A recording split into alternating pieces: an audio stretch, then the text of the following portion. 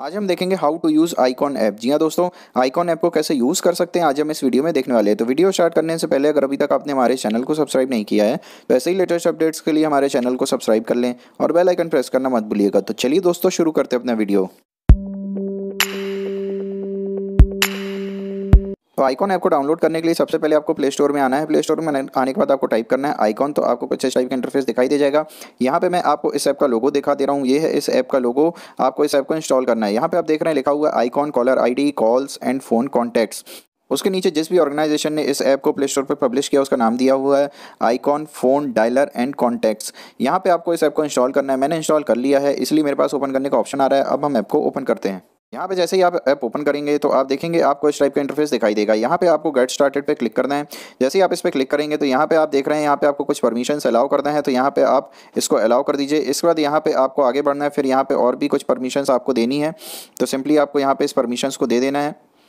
तो यहाँ पे देख रहे हैं इस तरीके से आपको ऐप की सारी परमिशंस यहाँ पे अलाउ करनी पड़ेंगी। फिर यहाँ पे आपको कंटिन्यू पे क्लिक करना है। जैसे ही आप कंटिन्यू पे क्लिक करेंगे तो आप देखेंगे यहाँ पे ऑटोमेटिकली ये आपके सिम के नंबर डिटेक्ट कर लेगा। यहाँ पे आपको जिस भी सिम से इसको रजिस्टर करना है, जिस भी नंबर से इसको रजिस्टर करना है सिंपली उस नंबर को यहाँ पे आप सेलेक्ट कर लीजिए। आप देखेंगे, जैसे ही आप सिम का नंबर सेलेक्ट करेंगे, जिस भी सिम में वो नंबर लगा हुआ है, उस सिम को आप सेलेक्ट करेंगे तो आपको कुछ इस टाइप का इंटरफेस दिखाई दे जाएगा। यहाँ पे ये यह ऑटोमेटिकली आपका नाम ले लेगा और यहाँ पे आपको सिंपली उसको कंफर्म करना है दिस इज़ मी पे क्लिक करके। ऊपर आपको अगर फ़ोटो लगानी है, अपनी प्रोफ़ाइल फ़ोटो तो वो भी आप लगा सकते हैं।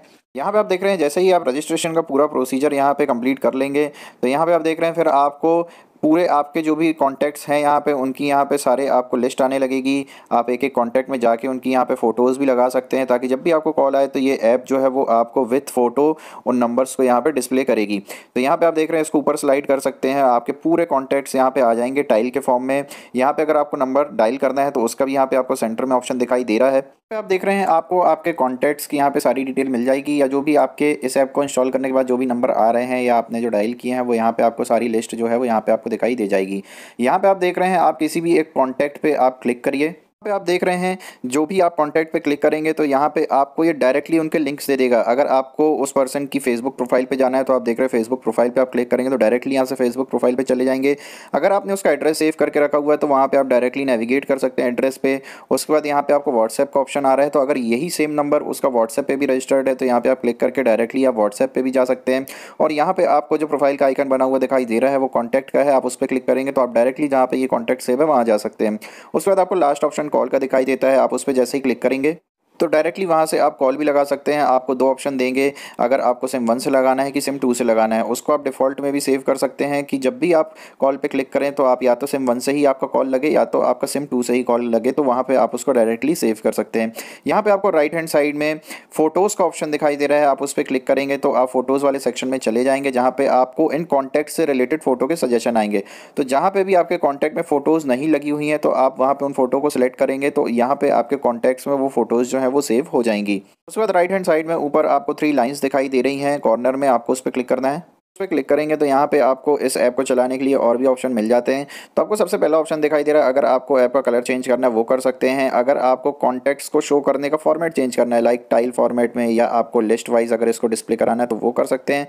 यहाँ पर आप सॉर्टिंग कर सकते हैं, अगर आपको ए के ए से लेके जेड तक इस हिसाब से अगर आपको कॉन्टैक्ट की लिस्ट चाहिए तो वो यहाँ पर आप ऑर्गेनाइज कर सकते हैं। उसके नीचे आपको ऑर्गेनाइज फेवरेट जो भी आपका फेवरेट कॉन्टैक्ट है, उसको यहाँ पर ऑर्गेनाइज करने का ऑप्शन मिल जाता है प्रीमियम ऑप्शन मिल जाता है, ताकि आप इसके और भी फीचर जो है, वो अनलॉक कर सकें। उसके नीचे आपको ब्लॉक लिस्ट मैनेज करने का ऑप्शन मिल जाता है। अगर आपको किसी कॉन्टैक्ट को ब्लॉक करना है या अनब्लॉक करना है, वो ऑप्शन मिल जाता है। फिर आपको उसके नीचे सेटिंग्स का ऑप्शन मिल जाता है। आप उस पर जैसे ही क्लिक करेंगे। वाले ऑप्शन पे आप जैसे ही क्लिक करेंगे तो आप देखेंगे जब भी आप यहाँ से इस कॉल लगाएँगे, इस ऐप से आप जब भी कॉल लगाएँगे तो आपको इस ऐप का जो जो नोटिफिकेशन है वो पॉपअप फॉर्मेट में चाहिए है या फुल स्क्रीन पे आ जाए, वो सेलेक्ट करने का सबसे ऊपर ऑप्शन आ रहा है। उसके नीचे आप देख रहे हैं शो मिस्ड कॉल नोटिफिकेशन उस पर चेक है show get photo on the contact list उस पर चेक है। तो अगर आपको इसको नहीं चाहिए, ये दोनों ऑप्शन तो उसको आप अनचेक भी कर सकते हैं। बाय डिफ़ॉल्ट ही आपको चेक मिलेगा। उसके नीचे आपको डुअल सिम का ऑप्शन मिल जाता है, आप उस पर जैसे ही क्लिक करेंगे तो यहाँ पे आप देख रहे हैं, ये आपसे पूछ रहा है कि prompt for each contact and calls मतलब कि आपसे ये पूछ रहा है कि आप जब भी कॉल करें तो आपको दोनों ऑप्शन चाहिए हैं कि आप इसको डिफ़ॉल्ट में सेट करना चाह रहे हैं। मतलब कि जब भी आप कॉल करें, या तो सिम वन से ही कॉल हो, या तो आप उसको सिम टू से ही कॉल करना चाह रहे हैं, या या आप ये चाहते हैं कि आपसे हर बार पूछे जब भी आप कॉल लगाएँ कि आपको किस सिम से कॉल करना है तो यहाँ पे आप इस ऑप्शन को यहाँ पे आप ऑर्गेनाइज कर सकते हैं, आप इसको सिलेक्ट कर सकते हैं अपने अकॉर्डिंग उसके नीचे आप देख रहे हैं मैसेज फॉर इनकमिंग कॉल मतलब कि जब भी कॉल आता है अगर आप उसको कट करते हैं तो आपको क्या वहाँ पर मैसेज सामने वाले को भेजना है, उसका यहाँ पर ऑप्शन आ रहा है, यहाँ पर आप इस मैसेज को एडिट भी कर सकते हैं.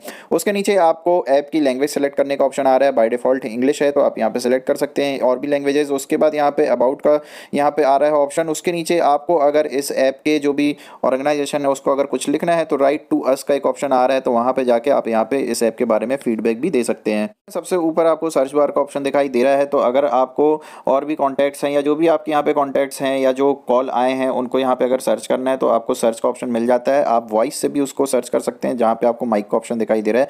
आप उस पर क्लिक करेंगे तो आप यहाँ पे बोल के भी उन कॉन्टैक्ट्स को सर्च कर सकते हैं। यहाँ पे आपको नीचे लेफ़्ट हैंड साइड में कॉर्नर में हिस्ट्री का ऑप्शन मिल जाता है तो जो भी आपने यहाँ पे कॉलिंग करी होंगी, या जो भी आपने यहाँ फ़ंक्शन परफॉर्म करे होंगे, वहाँ पर आप जाके उस हिस्ट्री को भी चेक कर सकते हैं। यहाँ पे आप देख रहे हैं, जैसे ही आप हिस्ट्री वाले ऑप्शन पे क्लिक करेंगे तो आप देखेंगे यहाँ पे आपको मिस्ड कॉल का ऑप्शन आ रहा है ऑल कॉल का ऑप्शन आ रहा है तो आपको अगर मिस्ड कॉल सिर्फ़ देखना है तो उस पर क्लिक करेंगे तो सिर्फ़ मिस्ड कॉल दिखाई देंगे। और यहाँ पे अभी हम बाई डिफ़ॉल्ट ऑल पे हैं तो यहाँ पे आप देख रहे हैं, जो भी हमने कॉलिंग करी है दिन भर में, उसका टाइम यहाँ पे दिखाई दे रहा है, किस नंबर से आपने कॉल किया सिम वन या सिम टू से, वो ऑप्शन आपको यहाँ पे दिखाई दे रहा है। और कॉल आया है कि लगाया ये सारे ऑप्शन यहाँ पे आपको इस ऐप में दिख जाते हैं। तो दोस्तों, आपने देखा कैसे हमने आईकॉन ऐप का यूज़ किया वीडियो कैसा लगा आप हमें कमेंट करिए। वीडियो को लाइक और शेयर ज़रूर करिएगा। Thank you friends